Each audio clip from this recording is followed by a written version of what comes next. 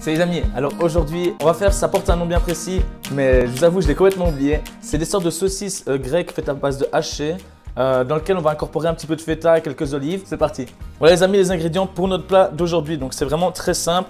Comme vous voyez, euh, ben, l'élément principal, le haché. Forcément avec ça on va faire nos saucisses grecques, dans lequel on va incorporer un petit peu d'ail, un petit peu d'olive et de feta. Le tout sera cuit au four, super simple.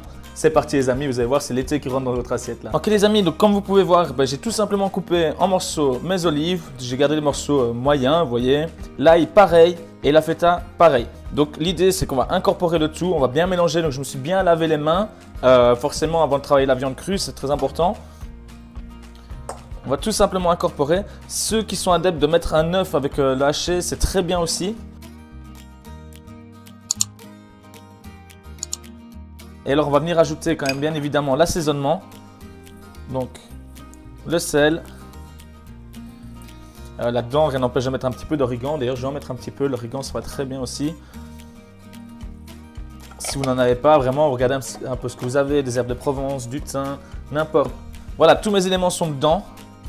Je n'ai plus qu'à mélanger à la main pour vraiment que ça soit bien homogène. Si je vois que c'est trop compliqué à, mélanger, que ça ne mélange pas bien, je vais ajouter un œuf.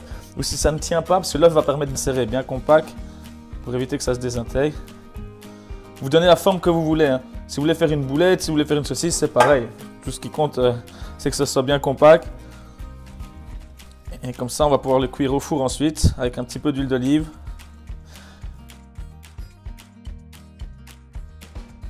Voilà, donc je prends tout simplement un récipient qui est adaptable pour le four, un peu d'huile d'olive dans le fond, et frotter un petit peu comme ça pour que l'huile euh, se positionne bien en dessous.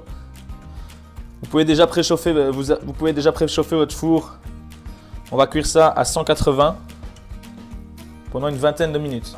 Voilà les amis, donc on a nos saucisses grecques qui sont cuites. On est tout simplement disposé vos saucisses. Voilà les amis, donc on a notre plat final. J'espère que ça vous plaira. Donc euh, un plat vraiment à la grecque avec la feta, les olives, etc. Donc ça va être très très bon. Euh, J'ai pas un dressage très simple. Hein. Je suis resté sur mon concept. Je vous l'ai promis du simple et rapide. Mais voilà, là c'est un dressage sympa. Je suis sûr que ça plaira à toute la famille. C'est fait à la main, c'est très rapide. J'espère que ça vous plaira. C'est Daniel au chef. À demain.